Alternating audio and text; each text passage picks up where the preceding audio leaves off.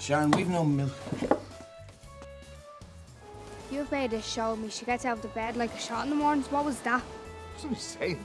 Yeah, well, don't. Well, she also said to call her any time if I had any questions. I prefer you didn't contact her again. You know, I moved Maxine for the greater good. How much? I said how much? Tell me now.